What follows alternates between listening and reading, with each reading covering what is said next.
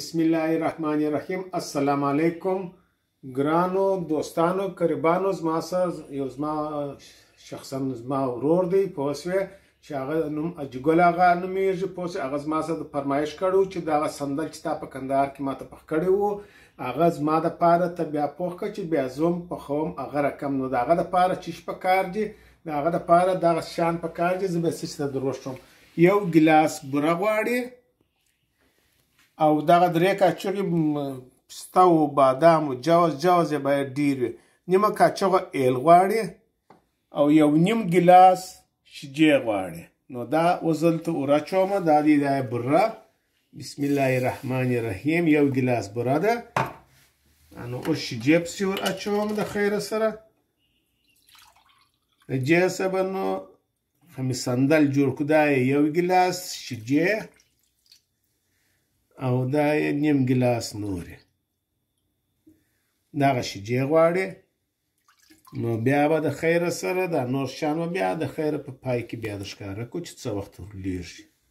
وارده واره چې ولګوي نو چیز یې ولګوي چې دی پر جوش پر جوش رالی بالا غینو بیا په پنځه یا پر شپږ باندې قرار قرار د کوي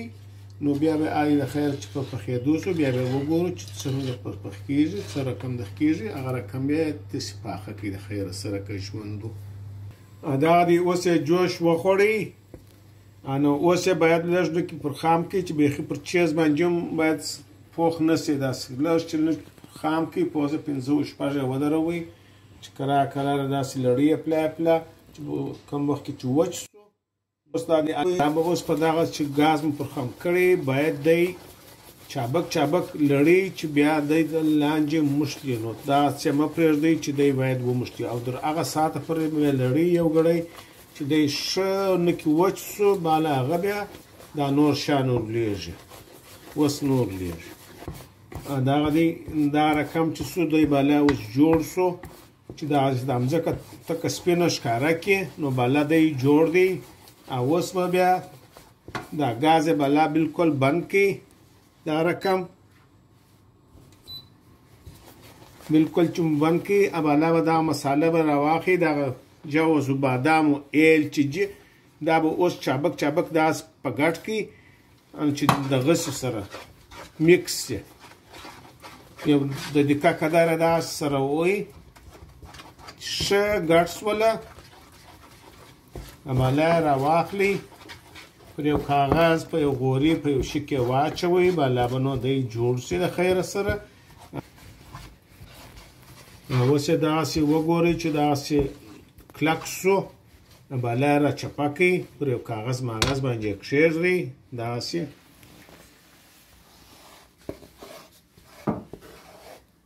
کاغذ یې واچوئ ملا به اوار کوي د خیر سره دا دی اوس به داسې به د پلا پرې کې په یو چاړه په یو شي باندې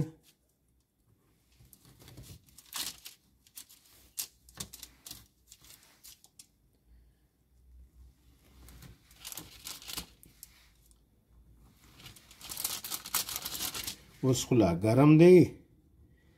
نو چې یخ شو ښه یخ شو بالا را واخلي په یو شیشه کې واچوئ په داسې دغه رقم ښه چې سرپوښ ولري ولې چې په دغه سي پرېږدي بیا وچیږي بلیا په سر پوښ چې ولري په دا رقم شي کې واچوي نو بیا به نو د خیره سره که ژوندو ښه نامي راغلی وي چې د باندې پروت شي نو هغه وچیږي